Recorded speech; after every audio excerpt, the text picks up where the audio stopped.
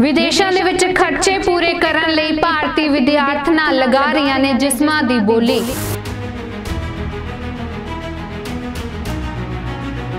Canada ਦੇ ਵਿੱਚ ਦਲਾਲਾਂ ਦੇ ਵੱਲੋਂ ਫਸਾਈਆਂ ਗਈਆਂ ਕੁੜੀਆਂ ਤੋਂ ਹੁੰਦੀ ਹੈ ਕਰੋੜਾਂ ਦੀ ਕਮਾਈ।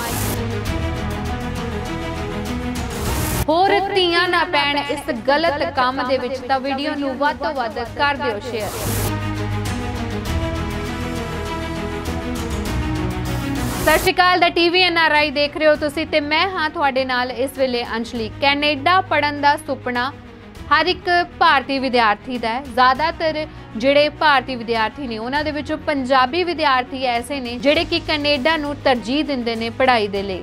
ਕੈਨੇਡਾ ਜਾ ਕੇ ਵਸਣਾ, ਉੱਥੇ ਪੜ੍ਹਾਈ ਕਰਨੀ, ਕਮਾਈ ਕਰਨੀ, ਇਹ ਹਰ ਇੱਕ ਪੰਜਾਬੀ ਵਿਦਿਆਰਥੀ ਦਾ ਸੁਪਨਾ ਹੁੰਦਾ ਹੈ। ਪਰ ਹਾਲ ਹੀ ਦੇ ਵਿੱਚ ਇੱਕ ਐਸਾ ਖੁਲਾਸਾ ਹੋਇਆ ਜਿਸ ਤੋਂ ਬਾਅਦ ਇਸ ਸੁਪਨੇ ਨੂੰ ਪੂਰਾ ਕਰਨ ਦੇ ਲਈ ਜੋ ਕੰਮ ਕੀਤੇ ਜਾਂਦੇ ਨੇ, ਉਹਨਾਂ ਤੇ ਜ਼ਰੂਰ ਸਵਾਲ ਖੜੇ ਹੋ ਰਹੇ ਨੇ। ਹਾਲ ਹੀ ਦੇ ਵਿੱਚ ਟੋਰਾਂਟੋ ਦੇ ਇੱਕ ਸੈਂਟਰ ਦੇ ਵੱਲੋਂ ਖੁਲਾਸਾ ਕੀਤਾ ਗਿਆ ਕਿ ਭਾਰਤੀ ਵਿਦਿਆਰਥੀਆਂ ਦੁਆਰਾ ਵਿਦੇਸ਼ਾਂ ਦੇ ਵਿੱਚ ਰਹਿ ਕੇ ਆਪਣੇ ਖਰਚੇ ਪੂਰੇ ਕਰਨ ਦੇ ਲਈ ਜੋ ਤਰੀਕਾ ਅਪਣਾਇਆ ਜਾ ਰਿਹਾ ਹੈ, ਉਹ ਬਹੁਤ ਹੀ ਗਲਤ ਤਰੀਕਾ ਹੈ, ਕਿਉਂਕਿ ਕਈ ਭਾਰਤੀ ਵਿਦਿਆਰਥੀ ਐਸੇ ਨੇ ਜਿਹੜੇ ਕਿ ਆਪਣੀ ਜਿਸਮਾਂ ਦੀ ਬੋਲੀ ਲਗਾ ਰਹੇ ਨੇ ਆਪਣੇ ਖਰਚਿਆਂ ਨੂੰ ਪੂਰਾ ਕਰਨ ਦੇ ਲਈ।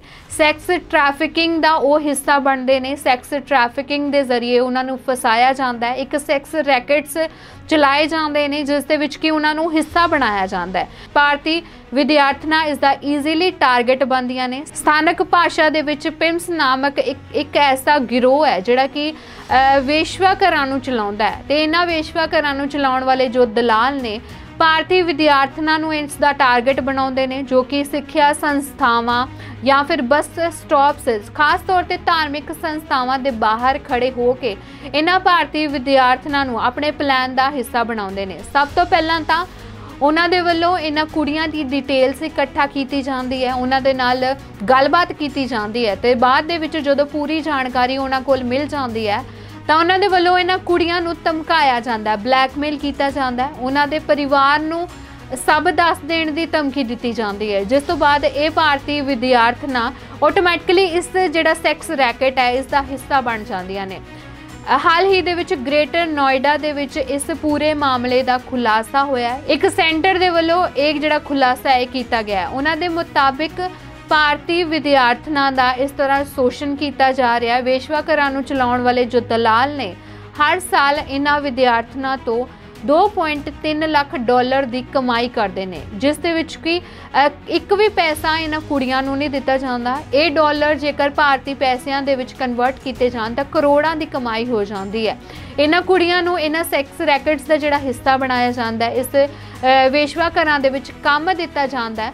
ਬਾਅਦ ਦੇ ਵਿੱਚ ਉਹਨਾਂ ਨੂੰ ਬਲੈਕਮੇਲ ਵੀ ਕੀਤਾ ਜਾਂਦਾ ਹੈ। ਗਰਭਪਾਤ ਦੇ ਜਿਹੜੇ ਕਈ ਮਾਮਲੇ ਨੇ, ਉਹਨਾਂ ਦਾ ਖੁਲਾਸਾ ਹੋਇਆ ਤੇ ਇਸ ਸਾਰੇ ਖੁਲਾਸਿਆਂ ਤੋਂ ਬਾਅਦ ਇਹ ਸਾਰੀ ਜਿਹੜੀ ਗੁੱਥੀ ਹੈ ਉਹ ਹੋਰ ਉਲਝਦੀ ਹੋਈ ਨਜ਼ਰ ਆ ਰਹੀ ਹੈ ਕਿ ਆਖਰਕਾਰ ਭਾਰਤੀ ਵਿਦਿਆਰਥੀ ਜਿਹੜੇ ਵਿਦੇਸ਼ਾਂ ਦੇ ਵਿੱਚ ਜਾਂਦੇ ਨੇ, ਖਾਸ ਤੌਰ ਤੇ ਕੁੜੀਆਂ ਜਿਹੜੀਆਂ ਵਿਦੇਸ਼ਾਂ ਦੇ ਵਿੱਚ ਜਾਂਦੀਆਂ ਨੇ, ਉਹ ਆਪਣੇ ਖਰਚੇ ਕਿਵੇਂ ਪੂਰੀਆਂ, ਪੂਰਾ ਕਰਦੀਆਂ ਨੇ? ਉਹ ਉੱਥੇ ਜਾ ਕੇ ਕੰਮ ਕਰਦੀਆਂ ਨੇ, ਸ਼ਿਫਟਾਂ ਕਰਦੀਆਂ ਨੇ, ਪਰ ਇਹ ਜਿਹੜਾ ਨਵਾਂ ਰਸਤਾ ਕੁੜੀਆਂ ਦੇ ਵੱਲੋਂ ਅਪਣਾਇਆ ਜਾ ਰਿਹਾ ਹੈ ਜਾਂ ਫਿਰ ਵਿਸ਼ਵਾ ਘਰਾਂ ਨੂੰ ਚਲਾਉਣ ਵਾਲੇ ਦਲਾਲਾਂ ਦੇ ਵੱਲੋਂ ਉਹਨਾਂ ਨੂੰ ਫਸਾਇਆ ਜਾ ਰਿਹਾ ਹੈ। ਆਖਰਕਾਰ ਇਹ ਕਿੱਡਾ ਕੁ ਵੱਡਾ ਰੈਕਟ ਹੈ। ਆਖਰਕਾਰ ਇਹ ਕਿਸ ਹੱਦ ਤੱਕ ਵੱਡੇ ਕੰਮ ਇਸ ਧੰਦੇ ਨੂੰ ਚਲਾਇਆ ਜਾ ਰਿਹਾ ਹੈ? ਇਸ ਮਾਮਲੇ ਬਾਰੇ ਖੁਲਾਸਾ ਇਸ ਤੱਤ ਤੋਂ ਵੀ ਹੁੰਦਾ ਹੈ ਕਿ ਬ੍ਰੈਂਪਟਨ ਦੀ ਰਹਿਣ ਵਾਲੀ ਇੱਕ ਔਰਤ ਦੇ ਵੱਲੋਂ ਇੱਕ ਸਥਾਨਕ ਨਿਊਜ਼ਪੇਪਰ ਨੂੰ ਇਹ ਜਾਣਕਾਰੀ ਦਿੱਤੀ ਗਈ ਸੀ ਕਿ ਉਹਨਾਂ ਦੀ ਜਿਹੜੀ ਨਿੱਜੀ ਨਰਸ ਹੈ, ਉਸਨੇ ਦੱਸਿਆ ਕਿ ਉਹ 10 ਤੋਂ 12 ਕੁੜੀਆਂ ਦਾ ਹਰ ਮਹੀਨੇ ਜਿਹੜਾ ਹੈ ਅਬੋਰਸ਼ਨ ਕਰਵਾਉਂਦੀ ਹੈ। ਤੇ ਉਹ ਜਿਹੜੀਆਂ 10 ਤੋਂ 12 ਕੁੜੀਆਂ ਨੇ, ਉਹ ਭਾਰਤੀ ਵਿਦਿਆਰਥਣਾਂ ਵੀ ਹੋ ਸਕਦੀਆਂ ਨੇ, ਹੋਰ ਦੇਸ਼ਾਂ ਦੀਆਂ ਕੁੜੀਆਂ ਵੀ ਹੋ ਸਕਦੀਆਂ ਨੇ। ਜਦੋਂ ਇਸ ਮਾਮਲੇ ਬਾਰੇ ਪੂਰੀ ਜਾਂਚ ਕੀਤੀ ਗਈ ਤਾਂ ਇੱਕ ਪੂਰੇ ਦੇ ਪੂਰੇ ਸੈਕਸ ਰੈਕਟ ਦਾ ਜਿਹੜਾ ਖੁਲਾਸਾ ਹੁੰਦਾ ਹੈ ਸੈਕਸ ਟ੍ਰੈਫਿਕਿੰਗ ਦੇ ਮਾਮਲੇ ਦੇ ਵਿੱਚ ਫਸੀਆਂ ਇਹਨਾਂ ਕੁੜੀਆਂ ਦੇ ਬਾਰੇ ਜਾਣਕਾਰੀ ਮਿਲਦੀ ਹੈ। ਦੱਸਦੀ ਦਈਏ ਕਿ ਪਿਛਲੇ ਅਗਸਤ ਦੇ ਵਿੱਚ ਹੀ ਇੱਕ 18 ਸਾਲਾਂ ਕੁੜੀ ਨੂੰ ਇਸ ਸੈਕਸ ਰੈਕਟ ਦੇ ਵਿੱਚ ਫਸਾਉਣ ਦੇ ਲਈ ਤਿੰਨ ਇੰਡੋ ਕੈਨੇਡੀਅਨ ਵਿਅਕਤੀਆਂ ਨੂੰ ਗ੍ਰਿਫਤਾਰ ਕੀਤਾ ਗਿਆ ਸੀ। ਤੇ ਹੁਣ ਇਸ ਮਾਮਲੇ ਦੇ ਵਿੱਚ ਜੋ ਖੁਲਾਸਾ ਹੋਇਆ, ਇਸ ਦੇ ਵਿੱਚ ਇੱਕ ਦੁਖਦਾਈ ਪੱਖ ਇਹ ਵੀ ਹੈ ਕਿ ਜੋ ਇਹ ਨਾ ਵੇਸ਼ਵਾ ਘਰਾਂ ਨੂੰ ਚਲਾਉਂਦੇ ਦਲਾਲ ਨੇ, ਉਹਨਾਂ ਦੇ ਵਿੱਚੋਂ ਜ਼ਿਆਦਾਤਰ ਜਿਹੜੇ ਨੇ ਇੰਡੋ ਕੈਨੇਡੀਅਨ ਵਿਅਕਤੀ ਹੀ ਨੇ। ਸੋ ਹੁਣ ਸਵਾਲ ਸਭ ਤੋਂ ਵੱਡਾ ਇਹੀ ਖੜਾ ਹੁੰਦਾ ਕਿ ਆਖਰਕਾਰ ਆਪਣੇ ਸੁਪਨਿਆਂ ਨੂੰ ਪੂਰਾ ਕਰਨ ਦੇ ਲਈ ਭਾਰਤੀ ਵਿਦਿਆਰਥਣਾਂ ਕਿਸ ਹੱਦ ਤੱਕ ਕੰਮ ਕਰਦੀਆਂ ਨੇ ਆਪਣੇ ਖਰਚਿਆਂ ਨੂੰ ਪੂਰਾ ਕਰਨ ਦੇ ਲਈ ਜੋ ਉਹ ਰਕਮ ਚੁਕਾਉਂਦੀਆਂ ਨੇ ਉਹ ਕਿੰਨੀ ਕੁ ਜਾਇਜ਼ ਹੈ ਤੇ ਉਹਨਾਂ ਦੇ ਸੁਪਨੇ ਕਿਸ ਕੀਮਤ ਤੇ ਪੂਰੇ ਹੋ ਰਹੇ ਨੇ ਜੇ ਤੁਸੀਂ ਵੀ ਚਾਹੁੰਦੇ ਹੋ ਆਸਟ੍ਰੇਲੀਆ ਜਾਂ ਨਿਊਜ਼ੀਲੈਂਡ ਦੇ ਵਿੱਚ ਵਿਆਹ ਤਾਂ ਇੱਕੋ ਇੱਕ ਰਾਹ NRI marriage bureau NRI Marriage Bureau. Find your perfect human.